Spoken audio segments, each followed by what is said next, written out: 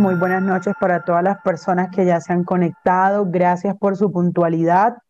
El día de hoy vamos a, eh, con nuestro webinar número 52 desde la Asociación Colombiana de Medicina Crítica y Cuidado Intensivo.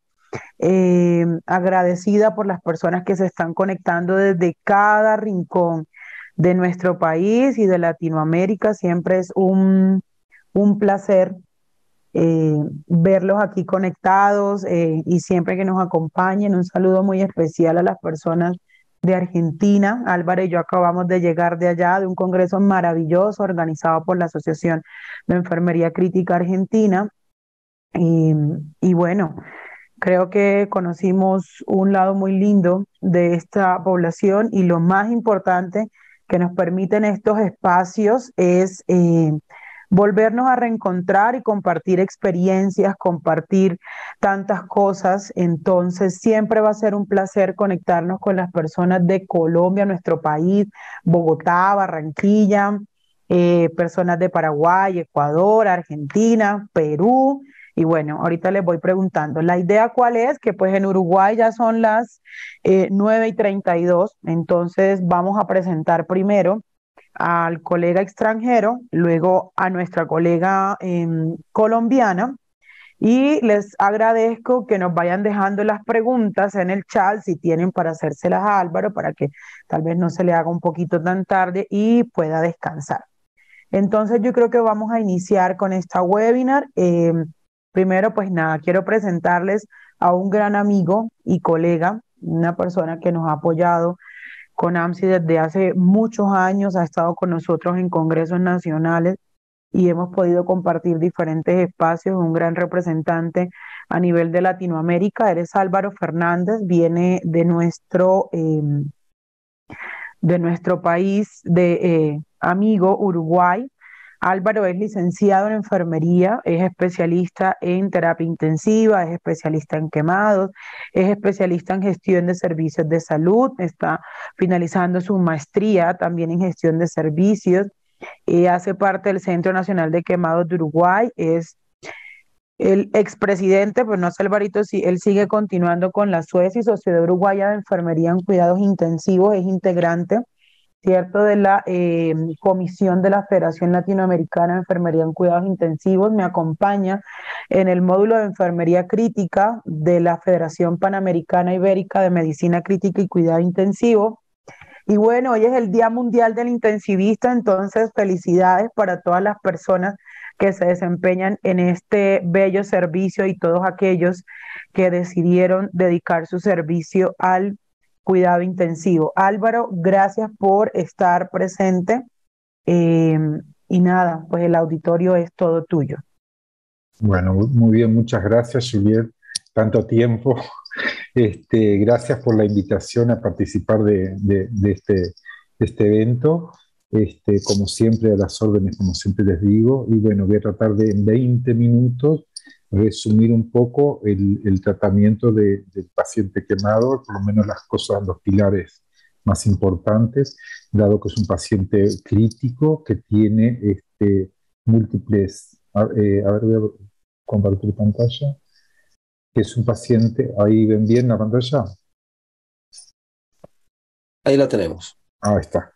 Bueno, este, voy a tratar de resumir un poco porque es un tema bastante largo, ¿no? Este, por todas las complicaciones que tiene. Bueno, como bien les dijeron, yo voy a hablar del tratamiento del paciente gran quemado. Este, y ah, Yo trabajo en el Hospital Universitario, en el Centro Nacional de Quemados de Uruguay, que es el único centro para adultos que tenemos, por lo tanto somos un centro de referencia a nivel nacional.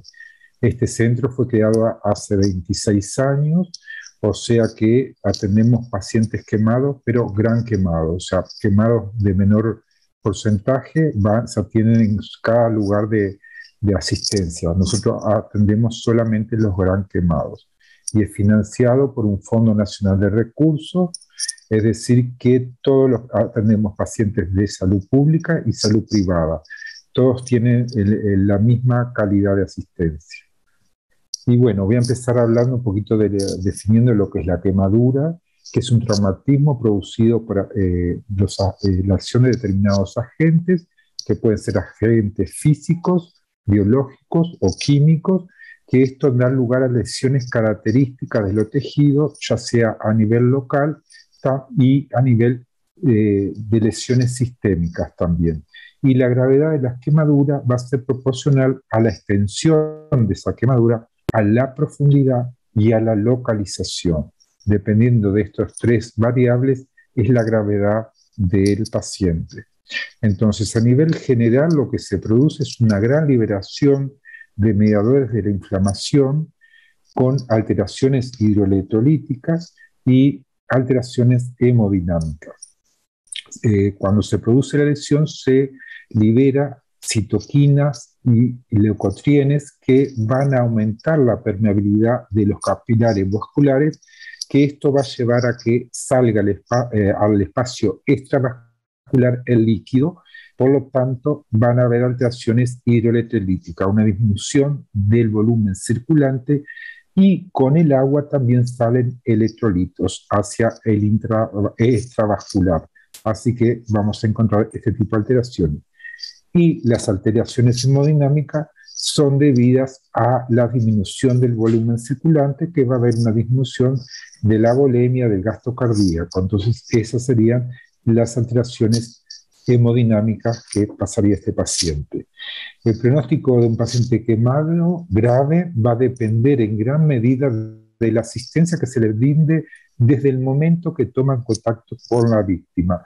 Por eso es importante conocer los, puntos más críticos de este paciente para comenzar el tratamiento en el lugar del accidente y no esperarlo a llevarlo a un centro asistencial o a un centro de quemado. El paciente que sufre una injuria térmica grave se comporta como un politraumatizado grave. O sea que si tenemos manejo de lo que es un politraumatizado, bueno, vamos a tratar al paciente quemado de esta forma, como un politraumatizado. Como les decía, que la gravedad dependía de la extensión de la quemadura y la profundidad, tenemos que aprender a eh, calcular la extensión. Hay muchas fórmulas que se utilizan para calcular la extensión del área quemada, pero nosotros en nuestro centro la que usamos es la regla de los 9, que lo que se hace es dar un valor múltiplo de 9 a cada sector del cuerpo, por ejemplo, en la cabeza corresponde un, un 9%, el tórax anterior un 9, el tórax posterior un 9, abdomen un 9, los genitales un 1, miembros inferiores un 9 la cara anterior y un 9 la cara posterior. Entonces nosotros sumamos todos los, porcentajes y ahí calculamos el porcentaje de, superficie corporal quemada total, haciendo el cálculo de esta suma pero también en algunas situaciones que son quemaduras este, eh, difusas, que no están bien localizadas, que no podemos decir, bueno, se quemó todo el tórax o se quemó todo el abdomen, que no completa ese 9%, utilizamos la regla de la palma de la mano que es también llamada la regla 1. ¿Esto qué quiere decir? Que el tamaño de la palma de la mano del paciente, no la nuestra, equivale al 1%. Entonces nosotros lo que podemos hacer es extrapolar esa palma de la mano en las distintas zonas del, cuerpo, del área quemada, y calculamos, le vamos sumando 1%, entonces tenemos, por ejemplo, un miembro inferior entero adelante y atrás, y es un 18%. Y después salpicaduras en otro lado y le vamos sumando 19, 20, 21. La otra cosa que tenemos que eh, eh, calcular es la profundidad del área quemada para ver la gravedad. Entonces, en la profundidad tenemos eh, quemaduras superficiales, intermedias y profundas, que antiguamente se llamaban de primer grado, de segundo, de tercero y de cuarto grado. Entonces tenemos las superficiales, que es solamente eh, es la capa superior de la, de la dermis y eh, de la epidermis, perdón, y que son esas quemaduras del sol que, que, nos ocurren en, verano. Después, las intermedias se clasifican en intermedia superficial e intermedias profunda.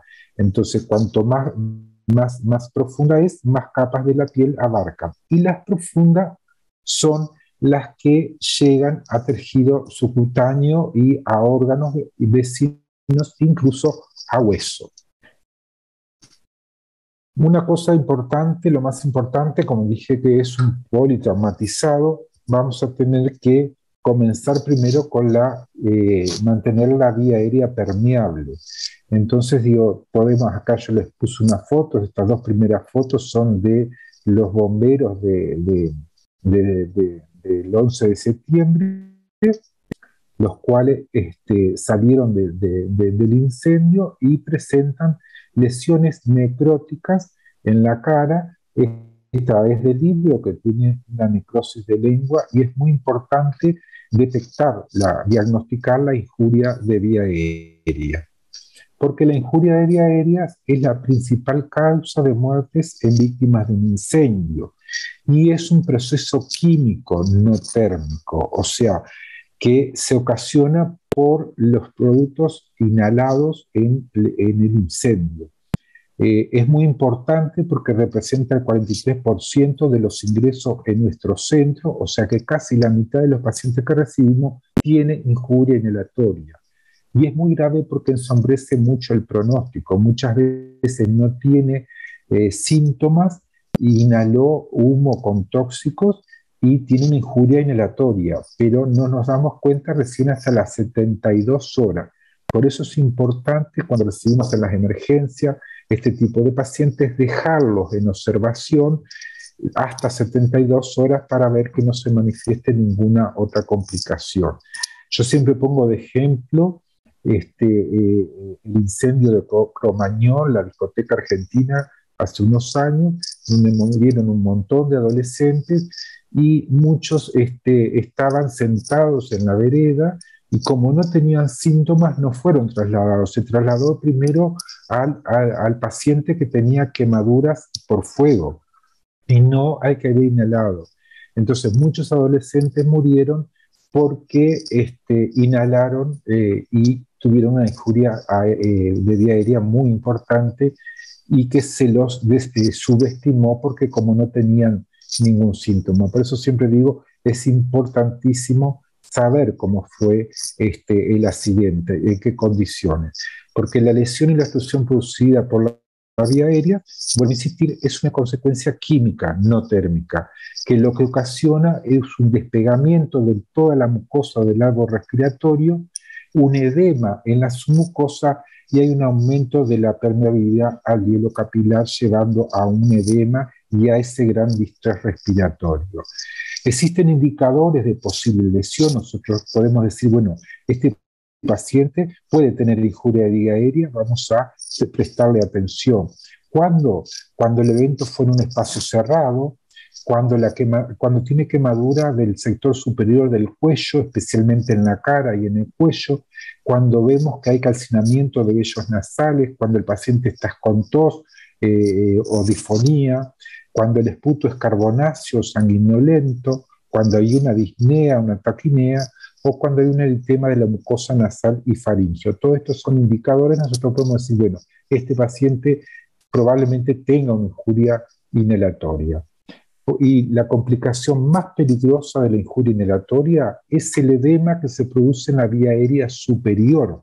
Por lo tanto, la mejor manera de prevenir la obstrucción es realizar una intubación endotraqueal precoz, porque una vez que empieza a desarrollarse todo el, edema en minutos, después si no se lo intuba, no se los puede intubar debido al gran edema que se produce. Entonces, nuestros médicos, nuestros servicios lo que recomiendan es esto.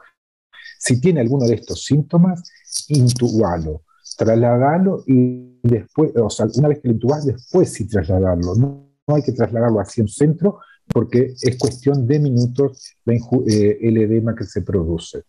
Una vez que nosotros tenemos resuelto la vía aérea, que es lo más importante, eh, sedamos al paciente, lo ventilamos, ah, vamos a la segunda cosa más importante, que es la circulación. Tenemos que mantener la circulación. Tenemos que reponer esos líquidos y electrolitos para prevenir el shock. El shock va a ser irreversible, porque una vez que se empieza a producir eh, la salida al, al, espacio extravascular, no la vamos a poder retener. Por lo tanto, lo que tenemos que hacer es reponer.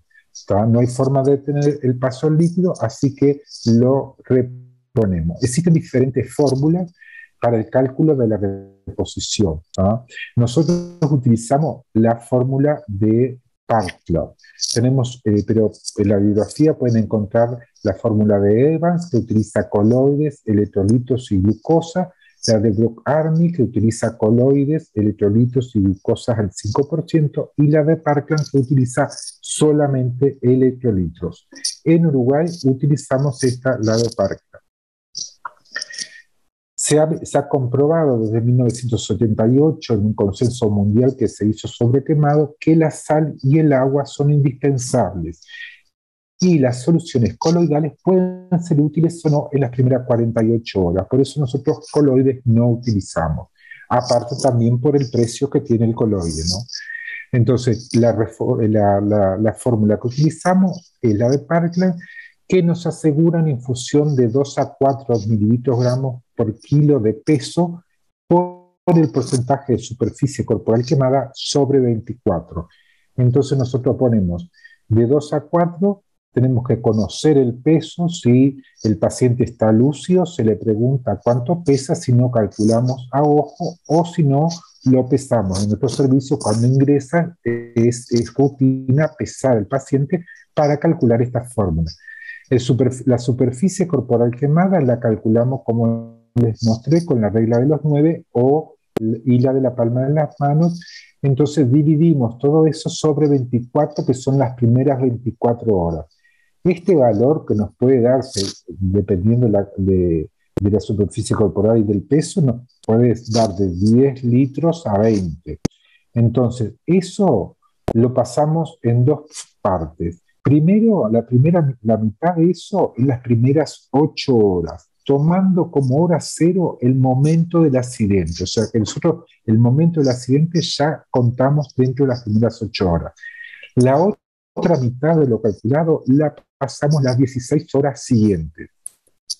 La hora cero es el momento, usamos eh, la solución de origen lactato porque es la que tiene la osmolaridad más semejante al plasma porque el fisiológico trae mucho sodio y va, y va a salir agua y sodio al intersticio y el sodio va a aumentar más el edema. Entonces, el Ringer lo que tiene es que permanece más en los vasos sanguíneos. Pero esta fórmula es una guía, no quiere decir que si nosotros calculamos 20 litros, el paciente va a requerir 20 litros. Generalmente necesita más. Esto es una base para nosotros empezar a administrar. El mejor indicador es el paciente mismo, que va a indicar qué volumen necesita, y es la diuresis. Entonces nosotros tenemos que tener una diuresis horaria entre 30 y 50 mililitros. Por lo tanto, estos pacientes requieren un control horario de la diuresis. Si baja por más de dos horas de 30, necesita hacerse más este volumen. Estos pacientes entran en shock, como les decía, y es un shock hipovolémico. O sea que son pacientes este, eh, flujo eh, eh, de líquidos dependientes. Acá no vamos a, administrar en las primeras horas inotrópicos porque la presión va a depender del volumen. Por lo tanto, debemos tener una buena vía, necesitamos colocar una vía periférica, todos sabemos un calibre de 14 nos permite un flujo de 93 y uno de 18 un flujo de 95. Entonces, si eh, el, porcentaje de quemadura es menor a 20%, con una vía sola periférica no se alcanza.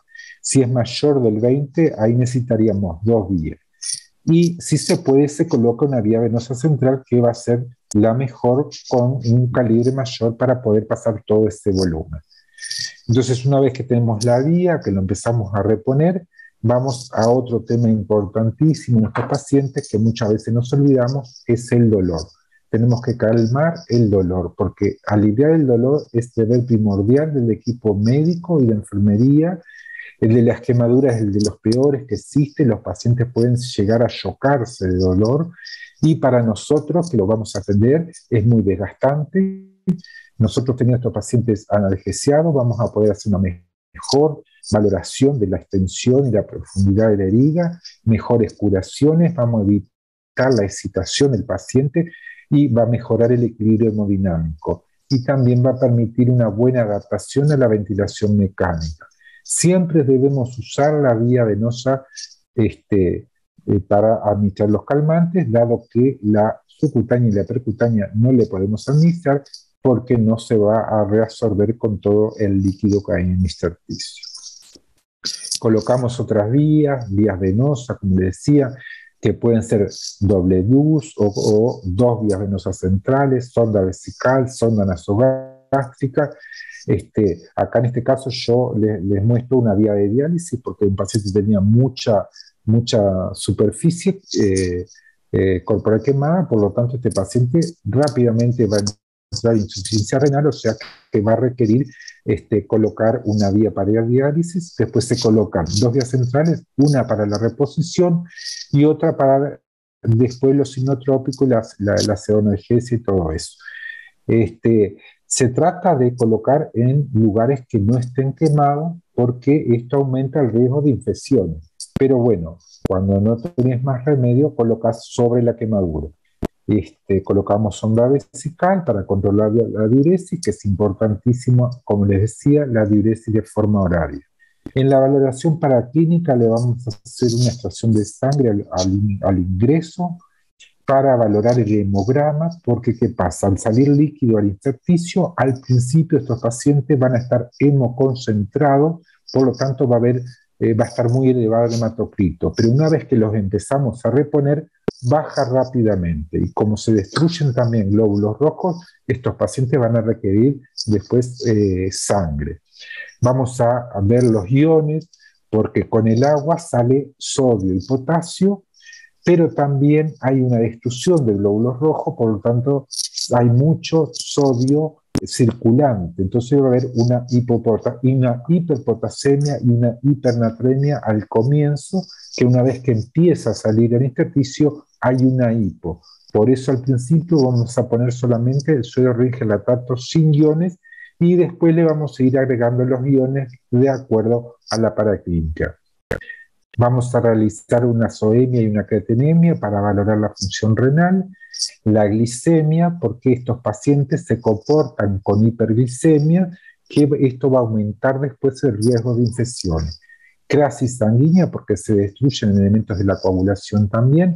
Realizamos una orina completa, sobre todo en aquellos pacientes que tienen quemadura eh, por electricidad gasometría arterial para valorar la, función respiratoria, una radiografía de tórax, porque estos pacientes eh, que inhalaron sobre todo van a tener un gran distrés respiratorio y se van a eh, comportar con pacientes como pacientes con distrés respiratorio. Por lo tanto, la ventilación en estos pacientes las vamos a hacer a presión positiva, no a volumen, porque necesitamos despegar esos alveolos que están colapsados y control los pulsos periféricos, sobre todo cuando hay injuria de miembros inferiores o miembros superiores. Es muy importante el control de, los pulsos en cada turno porque aumenta tanto la presión que esto comprime el paquete vascular nervioso de las extremidades y muchas veces hay que hacerles incisiones de descarga para poder liberar presión. Son incisiones tangenciales a la fascia para evitar que se necrosen las extremidades, como por ejemplo ahí les muestro en, las manos, en los brazos, esto lo hace el cirujano en plástico. Algunas veces hay que hacer en el tórax porque está acartonado y no puede ventilar, entonces para liberar presión y permitir la ventilación se hacen estas incisiones de descarga. En la función renal, bueno, en la, en la quemadura se destruyen eh, eritrocitos, por lo tanto se libera hemoglobina a la sangre y cuando hay destrucción muscular se libera mioglobina. Estos pigmentos son eliminados por los riñones, por lo tanto, si no damos volumen para barrer esto, se puede llegar a una necrosis tubular aguda en una insuficiencia renal aguda. Así que el volumen lo vamos a hacer para la presión y también para aumentar el funcionamiento del riñón. El monitoreo de la diuresis, como les decía, es horario, esto es importantísimo, tiene que estar entre 30 y 50 mililitros hora La sonda vesical nos va a permitir también valorar las características macroscópicas de la orina. Por ejemplo, en el quemado eléctrico hay una gran distribución muscular, por lo tanto hay una mioglobinuria que se ve como eh, color de Coca-Cola en la orina. Este, el balance hídrico es importantísimo, que se puede ser parcial o total en 24 horas, y lo importante es registrar en tiempo y forma los ingresos y los egresos de estos pacientes. En cuanto a la nutrición, una vez que se produce la lesión, se producen cambios muy importantes que originan una respuesta hipermetabólica proporcional a la gravedad de la quemadura. El gasto de estos pacientes, gasto energético, puede aumentar de 40 al 100% en aquellas quemaduras mayores al 30% de superficie corporal quemada. Existen diversas fórmulas para calcular las necesidades. Se requiere un promedio de 3 gramos de proteínas por kilogramo de peso por lo tanto, no, no podemos utilizar eh, fórmulas comerciales porque ninguna de las fórmulas comerciales nos asegura una, una nutrición adecuada a estos pacientes, por lo tanto se hace individual para cada paciente. Se debe incluir lípidos en la dieta porque estos van a intervenir en la sintetización de las heridas, en muchas funciones celulares y en la absorción de vitaminas. Los carbohidratos también se necesitan porque hay que satisfacer las necesidades calóricas de 5.000 a 6.000 calorías por día requieren estos pacientes.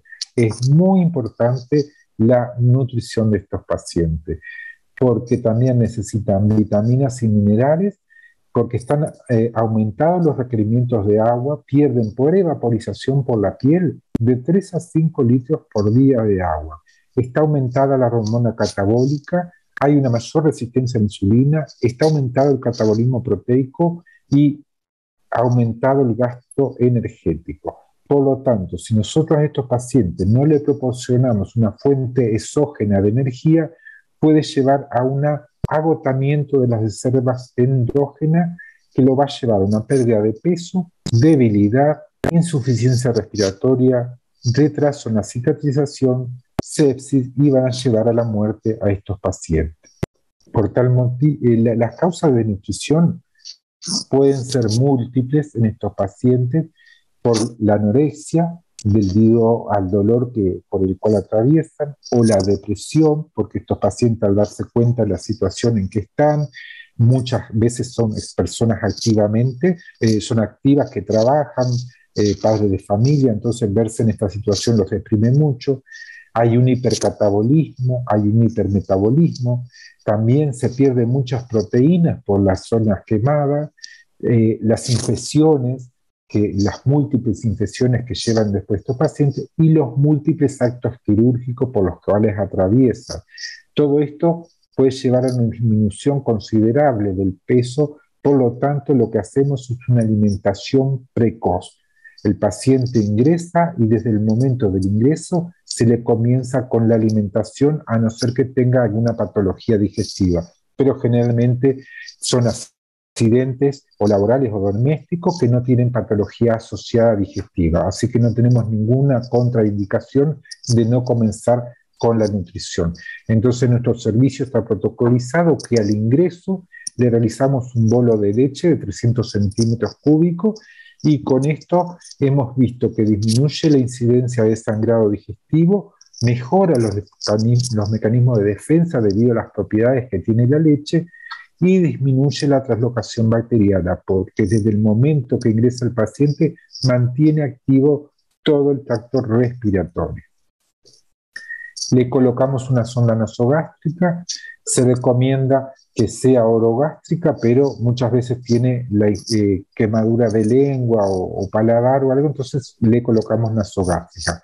Esto nos va a permitir alimentar a estos pacientes, evacuar el contenido gástrico cuando hay retención y lo que hacemos, este, nosotros realizamos de forma eh, continua la, la, alimentación en bomba de difusión durante 20 horas con un descanso de 4 horas tratamos de que sea lo más natural posible, entonces descansa en la noche. Antes de comenzar con la nutrición en la mañana, realizamos, medimos el pH, aspiramos la sonda, utilizamos esas cintas de pH urinario, colocamos una gota, dejamos actuar unos minutos y medimos el pH.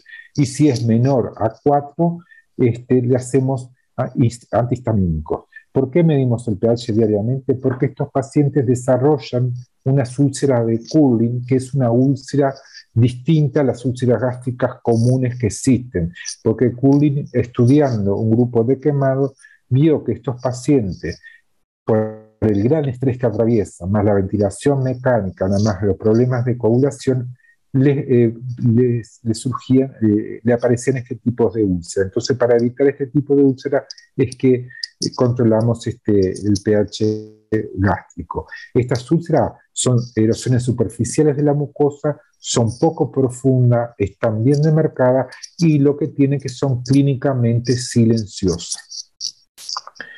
También lo que realizamos a todo ingreso, a todo paciente quemado, como la quemadura es una herida contaminada, usamos, eh, le realizamos los pacientes que están vacunados solamente el toxoide tetánico y los que no están vacunados o tienen vencida la, la antitetánica, realizamos el toxoide y la inmunoglobulina. En cuanto a la prevención de, infecciones, la quemadura es un medio excelente para la, reproducción y proliferación bacteriana, dado que es una éscara que no es viable, eh, debajo de esa éscara se acumula y crece muchas bacterias porque no llegan a ella los este, antibióticos que administremos de forma sistémica, ni los leucocitos, ni los polimorfos como para destruirlo. Este, entonces las bacterias alcanzan concentraciones desorbitantes ahí abajo y que pueden liberar sus toxinas a todo el torrente sanguíneo y llegar a una sepsis. Por lo tanto, la fuente principal de contaminación de estos pacientes son sus propios intestinos y una fuente secundaria es el ambiente. Por eso cuando ingresa nosotros le hacemos una limpieza, una bañoterapia en una tina, por arrastre, lavamos todo porque se contaminan de la propia eh, flora que tiene. Y la parte secundaria es el ambiente, entonces tenemos que proteger a estos pacientes de la exposición a los contaminantes ambientales. Entonces, eh, nuestra unidad tiene 14 camas, cada habitación es, tiene aislamiento para que estos pacientes eh, no se contaminen no, eh, con infecciones intrahospitalarias. Cada, cada aislamiento tiene su, su, eh, su, lavabo, tiene este, para descartar las aguas de limpieza, para, o sea que lo que entra en la habitación no sale. Bueno, en cuanto al tratamiento de la herida, la mejor forma de tratar las quemaduras es de forma local, porque ya que los antibióticos no van a llegar, lo mejor es realizar una limpieza local, que se puede hacer de distintas formas. Se puede hacer en un tanque de Hoover, se puede hacer en una cama, en un carro duchero, en la ducha o en bloque quirúrgico. Nosotros utilizamos agua que es agua procesada por rayos ultravioleta, pero en muchos lados se puede hacer con suero fisiológico o agua biestilada, estéril. El objetivo de la degradación es eliminar todos los tejidos contaminados, protegiendo al paciente de la invasión bacteriana. Y también es eliminar los tejidos que están muertos como forma de preparación para después injertar y cubrir la herida, porque no podemos injertar estos pacientes si están infectados. Entonces, el tratamiento local es la mejor forma de tratar. Entonces, lo que podemos, ¿cómo curamos una herida? Utilizamos palanganas estériles o riñones según el tamaño de la herida, suero fisiológico, clorecina jabonosa al 4%, usamos 50 centímetros por cada litro de suero, la temperatura tiene que estar entre 26 y 32 grados y el ambiente también entre 26 grados, porque estos pacientes sufren mucho de hipotermia. Por lo tanto, la habitación tiene que estar calefaccionada. La importancia de los baños, las curaciones, es que no puede durar más de 30 minutos porque si nuestros pacientes entran en hipotermia.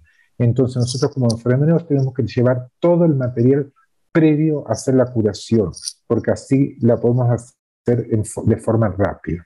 Entonces, ¿qué hacemos con las frictenas? ¿Se resecan o no se resecan? Sí, las frictenas se resecan, tanto las que están cerrada como que las que están abiertas, porque se ha comprobado que el líquido y el epitelio desvitalizado que tienen esa fultena solo sirve como medio excelente para la multiplicación bacteriana. Por lo tanto, con un bisturí en las curaciones las abrimos. Y bueno, para terminar, vieron que eh, es un tema enorme. Trato de, resumirle en poco tiempo para que más o menos tengan una idea general y lo importante es que las acciones realizadas en tiempo y forma condicionan la sobrevida del paciente. Muchas veces cuando nos dicen viene un quemado, eh, este, empezamos a correr porque no sabemos qué vamos a hacer. Lo más importante del quemado, como decía, es la vía aérea, la circulación. La herida es lo último. La herida se trata como una herida, como les mostré, una curación de una UPT, es una herida común y corriente. Es más importante todo lo otro, incluso para trasladar al paciente. Es más importante ponerle una vía, mantener la vía aérea, y las heridas simplemente le ponemos una, una, un campo que no necesita que sea estéril porque las, las quemaduras son heridas contaminadas desde el momento que se, se, se, se, producen. Entonces ponemos un campo estéril, no es necesario poner eh, paños húmedos, compresas húmedas como se hacía antes, poner cremas, no, porque la misma extravasación de líquido que tiene el paciente va a mojar ese campo, o sea que va a ser fácil de sacarlo cuando llega a la, a la unidad. O sea que lo más importante es mantener la temperatura y dejamos la herida para lo último. Así que no, no hay que desesperarse cuando recibimos un quemado por el tema de la herida, porque siempre nos pasa eso. Es todo lo otro más importante. Este, bueno, así que muchísimas gracias. Ahí le dejo mi correo este, por cualquier duda, que va a haber un montón. Este, así que a las órdenes. Y capaz que después en otro, algún momento profundizamos un poco más todo esto. Pero por lo menos para que tengan un pantallazo general, me parece que algo les puedo haber aportado. Muchas gracias. Alvarito, muchas gracias. Y sí, tienes un montón de preguntas acá. Yo creo que Jenny Samara y Luisa Fernanda me leyeron el pensamiento. ¿Nos puedes explicar un poco cómo es el tema del bolo de leche? Bueno, el bolo de leche es, son 200, 300 centímetros de cúbicos de leche que nosotros le hacemos de forma de bolo llega el paciente, si, si, le colocamos una zona nasogástrica, se la pasamos por la zona nasogástrica. Si el paciente no está ventilado, se lo damos a tomar. O sea, siempre tenemos en la heladera en la noche, cuando no hay tisanera, no hay nutricionista, nos dejan para los ingresos que se producen de noche. Es tomarse esos 300 centímetros de leche. Ok, bueno, muy bien. Jenny Samara también pregunta cómo realizan el lavado inicial del paciente, qué utilizan para lavarlo. Bueno, nosotros, como les decía, es agua porque es agua procesada, pero lo que recomendamos, si es en una emergencia o en un lugar no tengan agua apirógena, que utilicen suero fisiológico. Lo mejor es por arrastre, porque estos pacientes van a venir con tierra, con pedazo de ropa, con ropa. Entonces, mojar bien con, con suero fisiológico por arrastre, este, después pasar la clorescina. Nosotros tenemos los tanques de Hoover, que es donde se coloca al paciente cuando ingresa, suspendido, no es un baño de inmersión como se hacía antes, sino que es un baño por arrastre, con, una, con un teléfono de ducha, se lo baña Obviamente que estos pacientes se los seda, se los ventila y se los coloca porque son muy, muy dolorosos estos procedimientos, muy cruentos. Claro que sí. Bueno, acá pregunta Derlicano, ¿cómo manejas la hiperglicemia en estos pacientes quemados? Y bueno, generalmente con bomba de insulina porque desarrollan hiperglicemia, sí. La idea es, ir controlándolo porque, por el, riesgo del desarrollo de hiperglicemia pero como con bomba de insulina, como, como cualquier terapia intensiva, de acuerdo a, a los valores, controles horarios y de acuerdo a los valores el, el, goteo. Ok. Daniela María Torrico pregunta, ¿está indicada la debridación de ampollas o es mejor esperar la reabsorción? No, no, por eso hay que debridarla. Las ampollas se rompen por eso mismo, porque si no el líquido eso es un eh, medio ideal para las bacterias eh, multiplicarse. Bueno, aquí preguntan, estas preguntas muy interesantes. ¿Qué manejo farmacológico se le da a estos pacientes para prevención o tratamiento de, úlceras gástricas especiales? y qué razón enfermero profesional paciente tienes en estas unidades de ah. terapia especial. El, tratamiento farmacológico es ranitidina, ¿ah? que le hacemos cada ocho horas y cada vez que tenga el pH menor a 4. Eh, después, en cuanto a la relación paciente, nosotros tenemos, eh, lo que pasa es que nosotros tenemos un auxiliar de enfermería y el licenciado de enfermería. La auxiliar de enfermería acá es un curso de dos años y están capacitados para medicar, controlar, curar, colocar sonda. El licenciado de enfermería realiza la gestión, en realidad, pero la relación de auxiliar a paciente es una uno. En todas las terapias intensivas en Uruguay es 2-1, pero en este tipo de paciente es 1-1 porque da muchísimo trabajo. Además, uno tiene que entrar con todos los CPP para poder atender a estos pacientes. O sea que nosotros, la pandemia no nos cambió nada, porque hace 25 años que utilizamos de tapaboca, gordo, sobre túnica, todo. Es como estar en la pandemia eterna. Ok, bueno, aquí nos pregunta Juan, Juan Figueroa, nuestro querido amigo de Argentina, el cual acabamos de ir a visitar, y también pregunta Derlicano, antibiótico-terapia, ¿qué antibiótico-terapia es recomendable en las primeras horas y mm, pues de qué depende el antibiótico que se use? Antibióticos profilácticos no hacemos porque el, paciente quemado va pasando por distintas etapas y por distintos gérmenes. entonces, lo que nosotros usamos es el local, que es la sulfadiacina argéntica o Sedancil, que es el antibiótico eh, de excelencia, digamos, para este tipo de paciente porque es sensible, es, sensible a muchas cosas eh, y sobre todo a la pseudomona. Estos pacientes desarrollan mucha pseudomona porque es una herida húmeda entonces utilizamos sulfadacina argéntica. Pero en la cara utilizamos efatracina, porque la sulfadiacina mancha. Entonces, para evitar eso, en cara y mucosa, efatracina. Nosotros seguimos haciendo los, las rutinas, los cultivos de rutina. Viste que nos utiliza más a nivel de terapia intensiva, porque si no se hace solamente cuando hay síntomas y síntomas. Y. Nosotros la hacemos cuando ingresa le hacemos todo un mapeo bacteriológico de las heridas, de, de, de de orina, de todo. Y después, martes y jueves, lo seguimos haciendo. Como estos pacientes desarrollan rápidamente algún germen, y en base al resultado de la bacteriología es el antibiótico que utilizamos. Pero empíricamente no utilizamos antibióticos. Esperamos el resultado de la bacteriología. Ok, yo creo que Derly, esa de pronto te resolvió la pregunta, porque Derly preguntaba cuando hay pseudomona cómo la manejan, pues de pronto ya con el, eh, con el resultado del laboratorio orientan la terapia antibiótica. Y una última pregunta, Alvarito, si el paciente no está eliminando orina, preguntan si se aumentan los líquidos o ustedes indican los diuréticos. No, no, líquidos. Diurético no se da en las primeras 48 horas, es solo líquido porque en realidad eh, el problema es que está todo en el intersticio. El líquido se empieza después de las 48, eh, diurético, perdón, después de las 48 horas, porque la primera etapa del quemado, que son las primeras 24, se llama etapa de shock. Es una reanimación continua, pero con volumen. Por eso digo, es volumen dependiente, no inotrópico ni nada. Y después el líquido, sí, después se va, aumenta hasta 20 kilos las primeras 24 horas. Por eso esa deformación que, que, hay De, de, los pacientes las primeras 24 horas. Alvarito, bueno, unas imágenes bastante, bastante interesantes, una charla muy buena.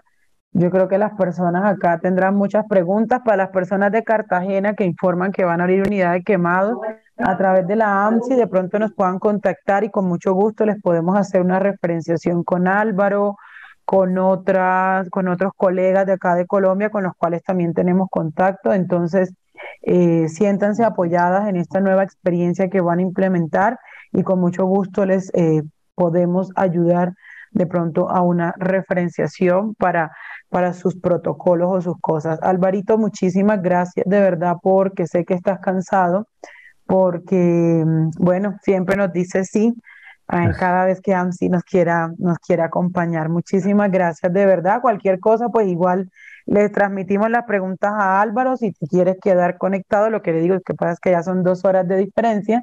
Em, pero bueno, aquí puedes quedar presente. Muchísimas gracias. Eh, bueno, saludos a todas las personas que nos han estado saludando desde todo lado. Em, Argentina, Juan, nuevamente un abrazo. Por acá está Natalia Caballero, que es nuestra compañera y representante de Paraguay. Nati, saludos. Edward Pinzón, que es nuestro vocal de la Regional Cundinamarca en Bogotá. Y bueno, todas las compañeras Yanina de Perú y todas las personas que estamos viendo que nos están saludando. Paraguay nuevamente. Eh, saludos de verdad, gracias por, por, por su fidelidad con las actividades desde la AMSI. Ahora vamos a presentar a nuestra siguiente conferencista. Em, digamos que siempre tratamos de dejar a, una persona externa y una persona de Colombia, sabiendo que en Colombia también tenemos muchas cosas que mostrar, muchas cosas que compartirles, que mostrarles. Eh, yo les quiero presentar ahorita a Eliana Torralba. Eliana Torralba es enfermera de la Universidad Javeriana. Em, pues ya está como magíster en Administración en Salud de la Universidad del Rosario. En este momento, pues ella está liderando todo el proceso del paciente quemado, la unidad de quemados y cáncer colorectal en la Fundación Santa Fe de Bogotá. La Fundación Santa Fe de Bogotá es una de las instituciones de pronto más reconocidas a nivel país. Ellos también eh, les felicitamos porque hace, hace poco, eh, este año, recibieron un premio eh, de la Asociación Americana de Enfermería en Cuidado Intensivo. Y, pues nada, ellos son, también siempre nos dicen que sí. Afortunadamente en Colombia también tenemos muchísima, muchísima calidad para, en atención a diferentes instituciones que siempre nos acompañan. Entonces, em, Honduras, un saludo también, siempre están conmigo, han sido fieles a la AMSI. Alejo, no sé si ya podemos entonces em, proyectar a Eliana. Buenas noches, mucho gusto. Soy Eliana Torralba, enfermera, egresada de la Pontificia Universidad Javeriana. En el momento estoy cursando la maestría de Administración en Salud en la Universidad del Rosario y soy la líder de enfermería de la condición de quemados en la Fundación Santa Fe de Bogotá. Agradezco la invitación, realmente me siento muy contenta de poder compartir este momento y tiempo con ustedes. Voy a compartirles la presentación. Permítanme, por favor. Voy a cargarla.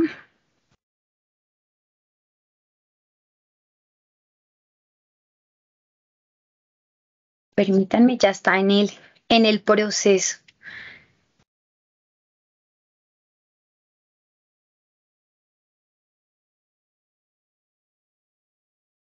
Bueno, entonces vamos a ver las intervenciones de enfermería en el paciente crítico quemado. Como temario tenemos las quemaduras, la clasificación de las quemaduras, cuidados de enfermería en el paciente crítico quemado y un caso clínico. Pero es importante, antes de pasar a cuidados y demás, entender un poco sobre las quemaduras, parte importante de nuestra valoración y conocimiento. Entonces, las quemaduras. Las quemaduras, si hacemos una referencia desde la Organización Mundial de la Salud, es una lesión. Y me detengo ahí porque muchos lo tomamos como el accidente. No, es una lesión a la piel u otro tejido orgánico causada principalmente eh, por el calor o la radiación, la radioactividad, la electricidad, la fricción o el contacto con productos químicos.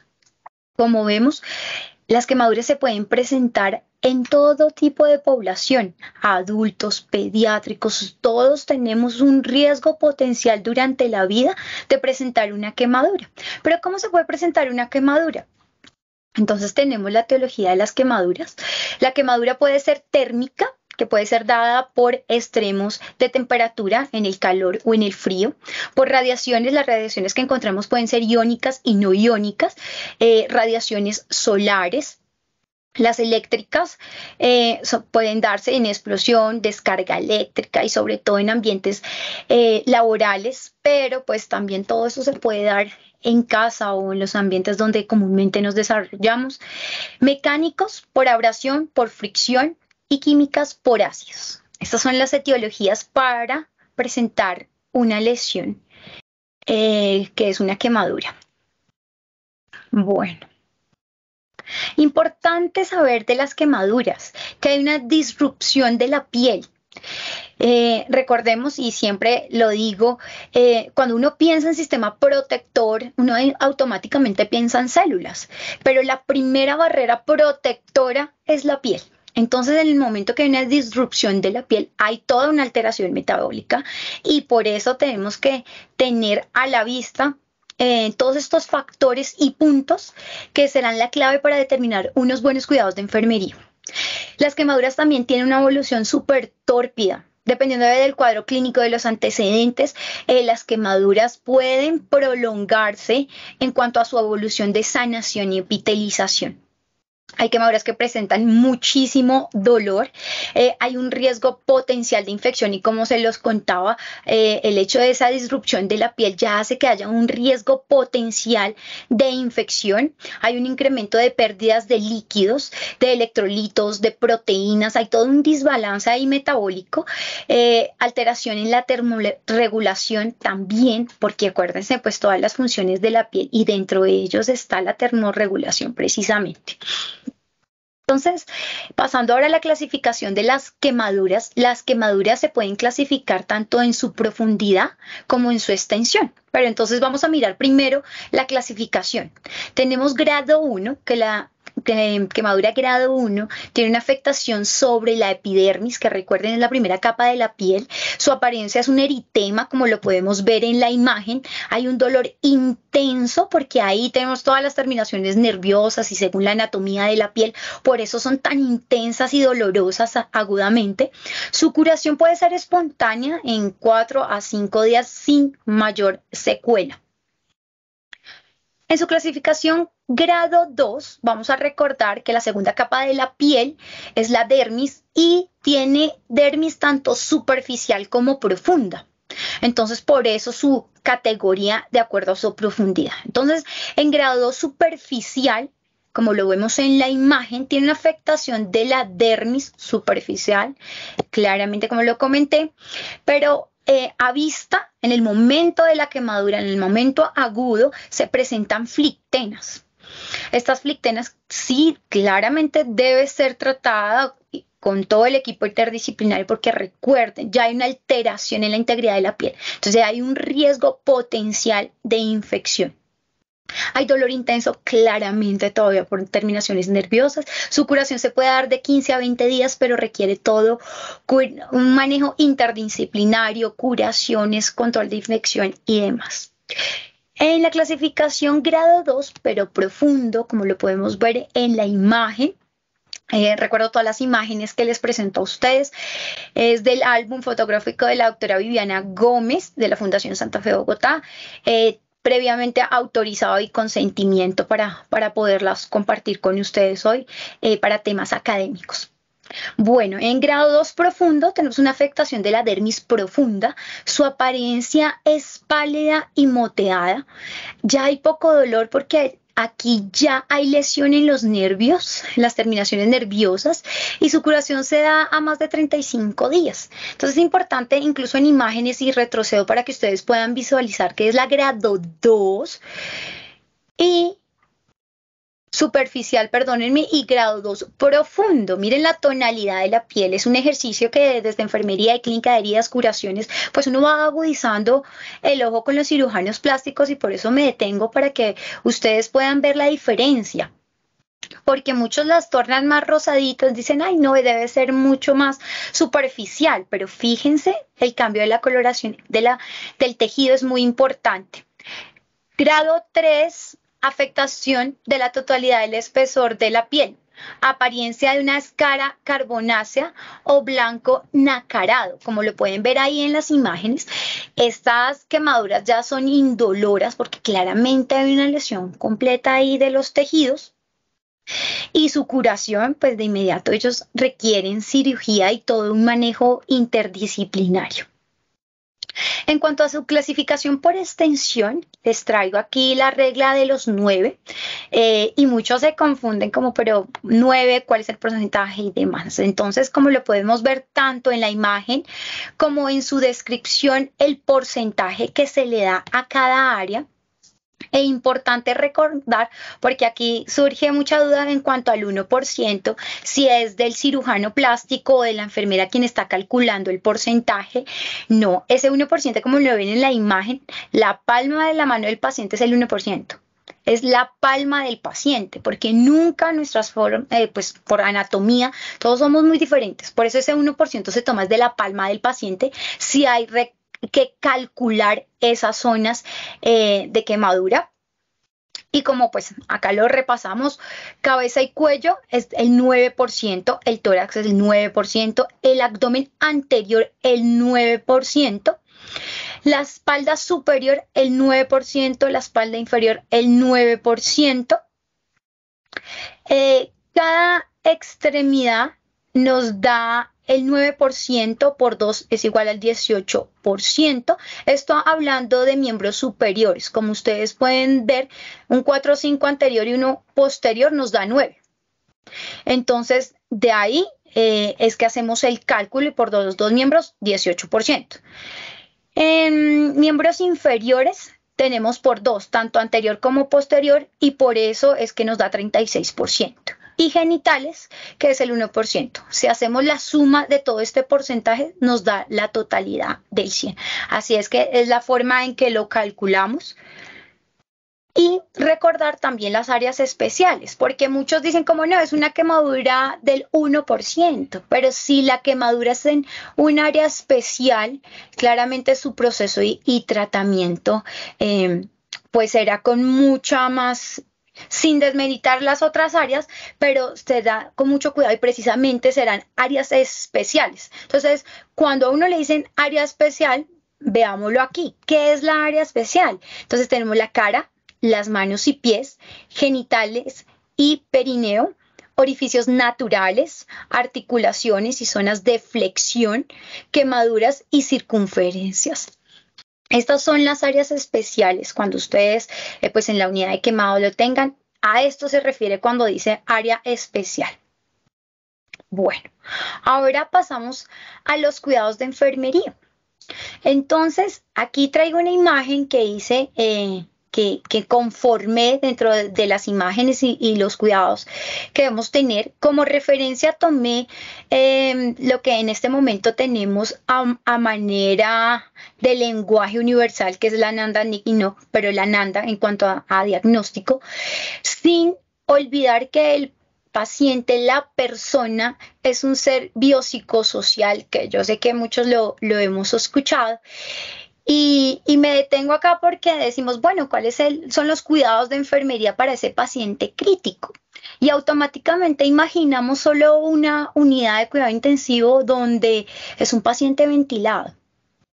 Y pensamos que esos cuidados van a ir eh, a sus medicamentos, ¿cierto? A todo ese monitoreo continuo, pero se nos olvida muchas veces la persona. Por eso aquí sigo y les voy a mostrar eh, esta imagen.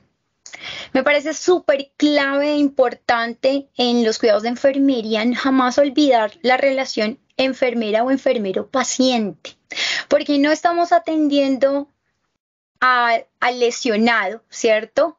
A la patología, al de la cama, al de la habitación, sino estamos atendiendo a una persona.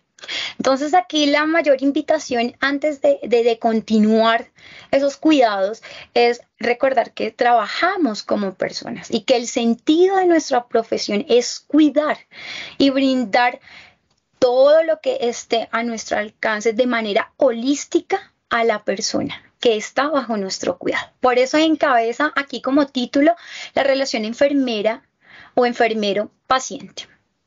Coloco aquí pues en porcentaje para que lo recuerden, eh, pero tomando todos los dominios y demás, quise como agruparlos para que recordáramos la, cada cuidado, o sea, de dónde, por qué el cuidado. Y como yo les decía, cuando uno entiende todo ese proceso de las quemaduras, eh, la evolución, la profundidad, la extensión, de acuerdo a ese cuadro clínico es que uno va a determinar todos esos cuidados. Entonces inicio acá la seguridad y protección. Entonces, como les decía al inicio, tenemos todo una alteración metabólica, un desbalance de acuerdo claramente a, su extensión. Y aquí ah, resalto algo. Eh, nosotros en la fundación, todos nuestros pacientes quemados, independiente de la, la profundidad y la extensión, son manejados en la unidad de cuidado intensivo de manera integral. Entonces, eh, quería como resaltar eso y de ahí también nace todo, toda esta mirada amplia. Entonces, en cuanto a seguridad y protección, tenemos la termorregulación, importantísimo, como lo vimos, funciones de la piel, es importante hacer ese control de temperatura en nuestros pacientes, el control de las infecciones, claramente riesgo potencial. Y por eso todo el manejo que le damos, incluso en la unidad, las curaciones.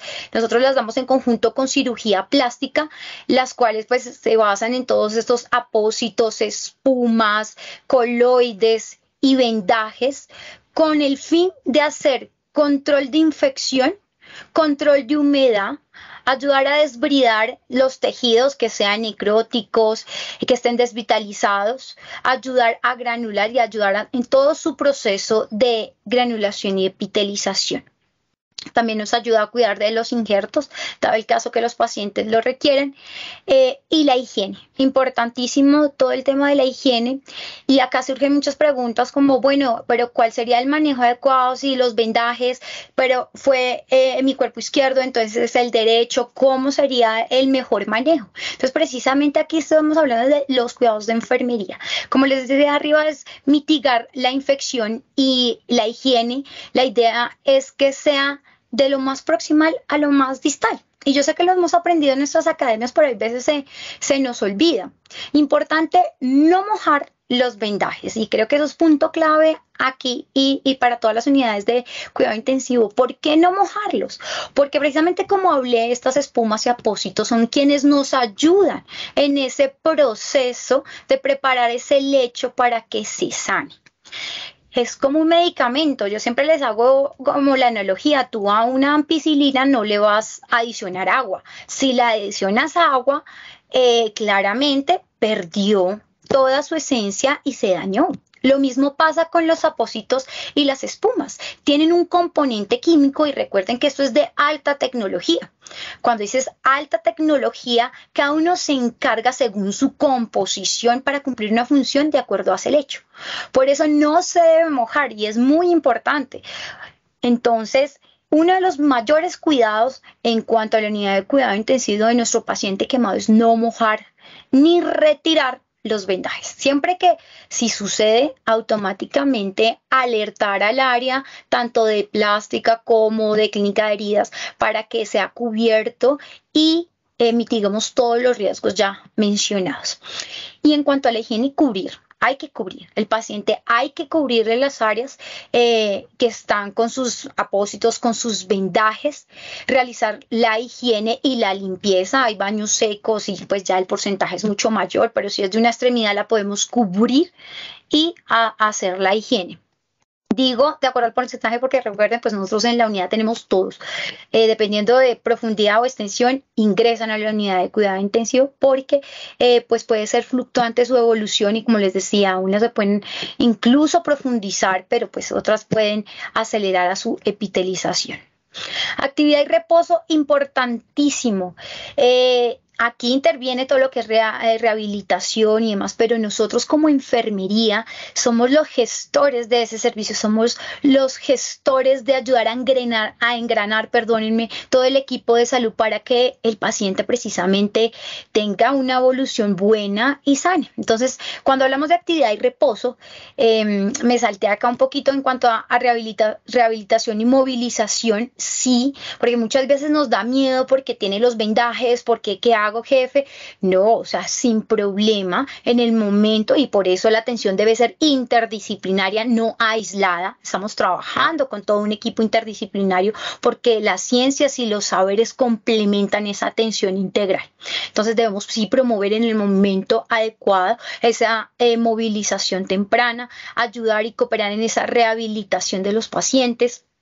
Eh, y pues devolviéndome, perdónenme, en cuanto a la vía aérea, claramente tenemos quemaduras por vía aérea. Hay pacientes que si son un porcentaje mayor van a requerir intubación claramente y nosotros somos los encargados de, de cuidar junto con terapia respiratoria toda esa vía aérea y asegurarla, porque pues incluso una parte importante, y esto es desde fisiología, el oxígeno es muy importante para todos los tejidos. Tenemos que tener niveles óptimos de oxigenación para que los tejidos se recuperen óptimamente y no pues sufran y esto hace que se retrase el proceso. Por eso coloco acá la vía aérea, la circulación, monitorización continua de nuestros pacientes por toda la alteración que lleva claramente en las unidades, lo tenemos claro y los expertos intensivistas lo tienen mucho más, pero aquí tenía que engranar de manera general qué son esos cuidados para ese paciente quemado, tanto desde, desde un pequeño a un gran quemado.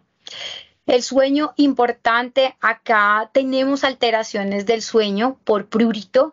Eh, los pacientes muchas veces confunden el tema del dolor y el prurito en sus procesos de epitelización, porque uno puede tener una unidad, un paciente quemado con quemadura grado 3, quemadura grado 2, quemadura grado 1, superficial que ya epitelizó y durante ese proceso de epitelización ahí va a haber disconfort un poco por parte de los pacientes y por eso nosotros desde enfermería estamos llamados a hacer ese cuidado y esa atención. La eliminación, control de líquidos por las pérdidas, hay que cuantificarlo eh, y dependiendo pues del caso clínico del paciente. Coloca acá autopercepción me parece supremamente importante. Y uno diría autopercepción en unidad de cuidado intensivo. Claro que sí, porque la mayoría de nuestros pacientes están despiertos, alerta, conscientes. ¿Y, ¿Y qué pasa? Ellos presentan impotencias, desesperanza, miedo, baja autoestima. Y por eso insisto que trabajamos de manera interdisciplinaria con el área de psiquiatría, de psicología, eh, y si uno como enfermero, que es la primera línea, el cuidador lo detecta, hay que levantar la mano, porque las personas que sufren una lesión por quemadura eh, requieren de todo un manejo integral y creo que soy muy enfática e insisto eh, porque no somos aislados y esto sí, si se detecta hay que levantar la mano em, y reportarlo para que se le dé su manejo. En cuanto al rol y relaciones, este también se nos olvida mucho y es muy importante. Las creencias del paciente, su familia, sus cuidadores, sus mascotas, ir más allá de, porque el hecho de estar en una unidad de cuidado intensivo que requiere un riguroso control, lo comprendo, pero por ejemplo, eh, ¿qué hemos hecho nosotros? Darle ese acompañamiento y ayudar a canalizar, y eso lo hacemos desde enfermería, que sus familiares, de qué manera, por más que tiene el aislamiento riguroso, y nosotros nos encargamos de educar a sus familias y cuidadores de cómo debe ingresar para evitar todo el tema de riesgo de infecciones, lavado de manos, ¿cierto? Pero no ser la barrera, ser esa enfermera o enfermero puente para el paciente, que esta área es importantísima para él. Por eso lo nombro acá. Hoy día pues tenemos la facilidad incluso así de las videollamadas, ¿por qué no? Yo creo que podemos llegar un poco más allá de, y si para el paciente inclusive hay mascotas que son muy importantes para ellos, pues hay que promoverlo e incentivarlo. Todo esto que les cuento es parte del ejercicio que hemos construido eh, con mis colegas en la unidad, eh, los que están allí en el cuidado directo, eh, son cosas que uno ya no se pueden hacer si sí se pueden hacer y la mejoría de los pacientes es mucho más rápida, su ánimo, su disposición. Eh, acá también les coloco en cuanto a nutrición, la hidratación es muy, muy importante para, para los pacientes y claramente de acuerdo a la condición clínica, la extensión, vuelvo e insisto, porque pues todo eso lo determina el tipo de quemadura y su extensión. La promoción de la salud, eh, la comunicación, la educación, y uno diría, pero promoción de la salud, si ya se quemó, pero les cuento que tenemos pacientes que se han quemado con electricidad, luego han llegado quemados por químicos y, no es tema de, de juzgar, no, porque eso nos puede pasar a cualquiera. La quemadura puede suceder y puede repetirse. Por eso nosotros estamos llamados a hacer todo un tema de comunicación con los pacientes, de educación, de los lugares y áreas que tienen riesgo potencial para presentar este tipo de quemaduras. Y si engranamos todo esto en conjunto, pues vamos a llegar a la base y lo coloco aquí al confort el confort de los pacientes es supremamente importante.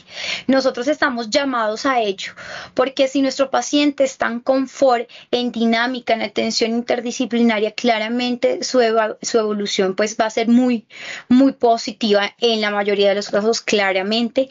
Eh, y se me escapó, pero aquí lo tengo el manejo del dolor. y creo que acá para nosotros el manejo del dolor es supremamente importante. Nosotros desde la unidad, incluso con clínica del dolor, la idea es que nuestros pacientes tengan cero dolor. Cero dolor porque pues ya ha sido una lesión algo traumático y, esto pues queda en el recuerdo, en las futuras curaciones, entonces sí siempre es muy, muy, muy, muy importante hacer el manejo del dolor.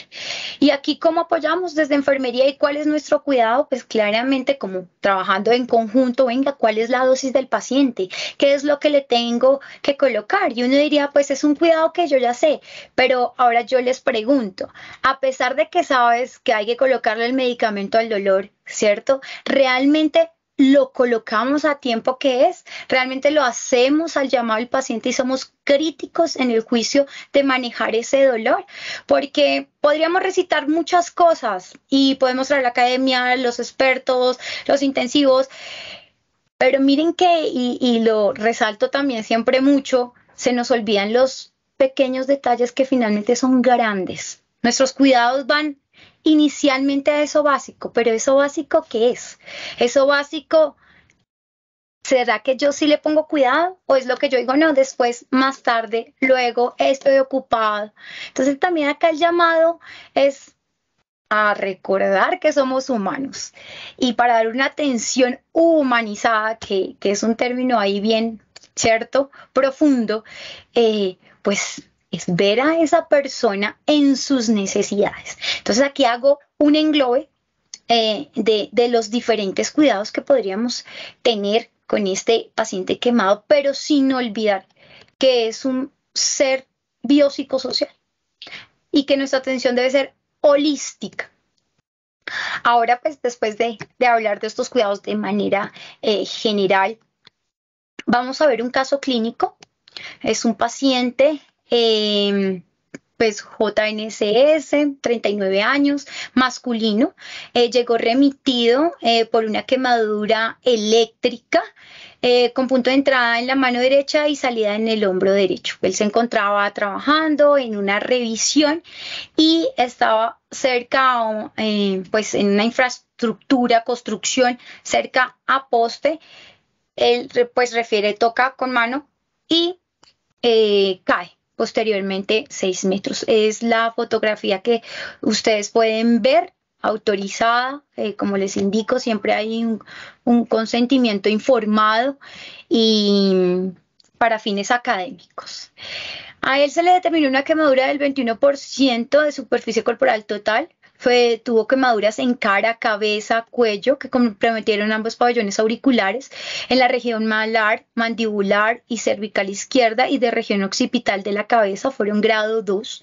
En toras comprometió región media de la espalda hasta T7 y región escapular derecha que se extiende hasta región del deltoides y axilar derecha grado 3. Exposición de tejido muscular. Su diagnóstico, pues, el, pues tuvo un síndrome compartimental del miembro superior izquierdo con un postoperatorio de desarticulación del miembro superior izquierdo y quemadura de vía aérea. Como les comenté, pues el manejo fue realmente interdisciplinario y es el manejo que le damos a todos nuestros pacientes de acuerdo a su condición y a su necesidad. Y no solo en el momento de, de la unidad de cuidado intensivo, sino también se hace un manejo transversal Entonces todas las disciplinas acá intervienen y pues nuestra mayor función y mayor cuidado es integrar todas estas áreas en pro al paciente.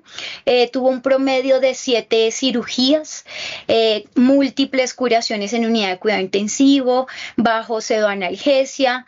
Em, porque pues la idea es que cuando ya pasara al área ambulatoria sus curaciones eh, fueran solo con refuerzo de analgesia y eso es parte del cuidado de enfermería, de la evaluación juiciosa y de, los criterios. Ya aquí adelante les muestro ya epitelizado a nuestro paciente en, ambulatorios.